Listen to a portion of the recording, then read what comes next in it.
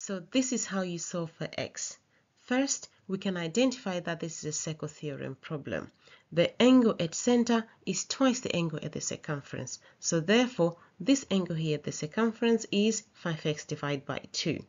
The sum of the interior angles in this shape inside the circle, often known as the arrowhead, is a type of a quadrilateral with angles adding up to 360. So therefore, 32 plus 16 plus the reflex angle at the center, which is 360 minus 5x, plus the 5x divided by 2 is equal to 360.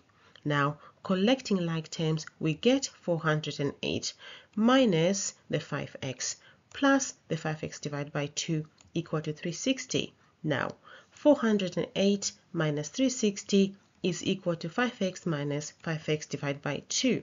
So we get 48 will be equal to 2.5x. Dividing by 2.5 both sides, x will be equal to 19.2.